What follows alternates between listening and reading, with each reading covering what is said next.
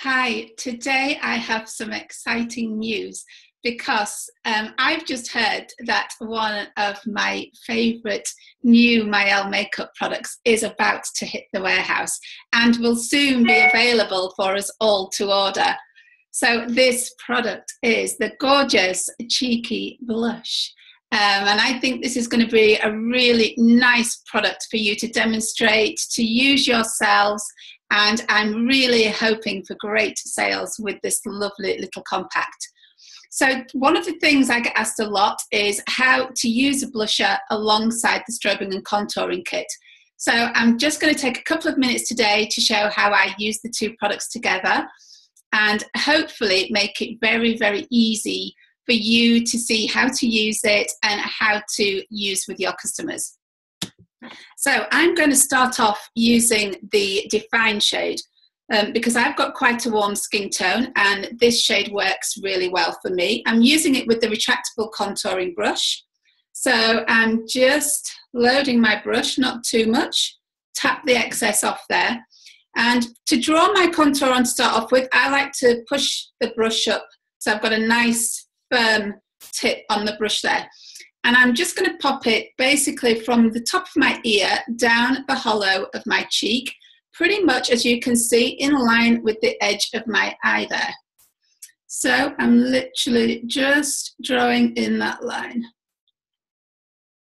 Hopefully you can see, put a little bit more on.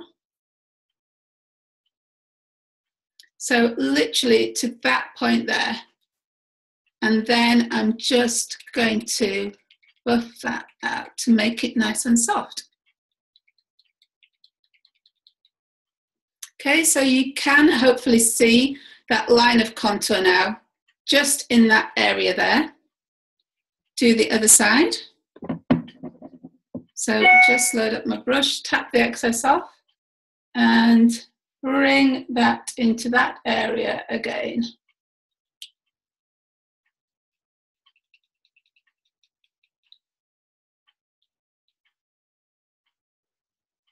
Okay, so there's nice soft definition just underneath the cheekbone. I'm now going to use some of the highlight shade just to soften that contour a little bit and blend it out. So literally just going over that area again.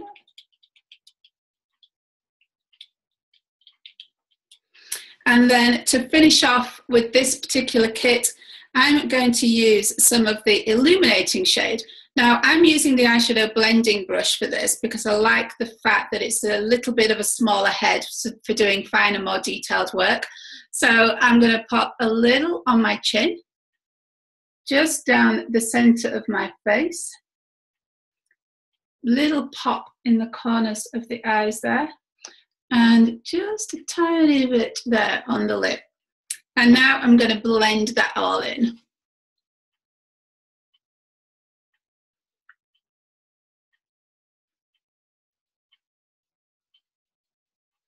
When you've got a slightly older skin like mine, um, this highlight just gives that nice kind of illuminated look to the skin and just brightens everywhere. So just adds that little bit of an extra dimension. Now, for the blush, I'm going to use the angled cheek brush from the Essential Brush Kit because this has got a really nice contour and I'm going to mix all four shades together. So swirling the brush around there. I like to pop a little bit more of the coral because I've got a little bit more of a warmer skin tone tap the excess off. And now I'm going to apply this pretty much from the center of my eye, just along the top of the cheekbones there. So sweeping back towards the hairline. So you can kind of get the idea because it's going from the top of the apples of the cheeks and into that area there. A bit more. And just blend it through. So I think you can hopefully see the difference. Lighting makes such a lot of difference here. and that just gives that kind of cheek. You've got the contour, that's really giving it that warmth, that nice flush of colour without looking um, too dolly cheeked and too kind of that, too much of a pop of colour on the apples of the cheeks. It's really nice and soft going along the top of the cheekbone there. So nice light dusting and blending in.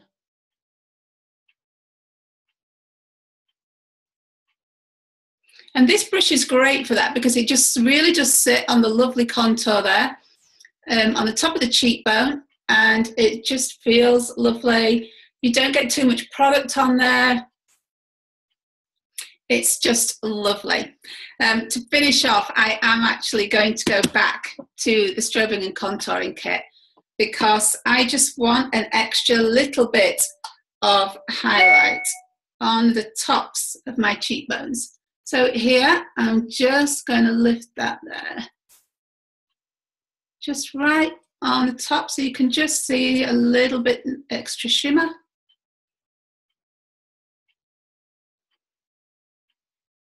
And it's just a really nice, soft, illuminated finish. Very natural, not overly made up, but just gives that lovely lift. It pulls your features up as you get older, your skin loses pigmentation and you need that extra little bit of pop of colour. I know lots of women are so used to just using a bronzer, but when you have your blush, it just gives that lovely natural flush of colour and really does make all the difference. So um, look forward to seeing this hit the website soon and I'd love to know your thoughts when you get hold of it.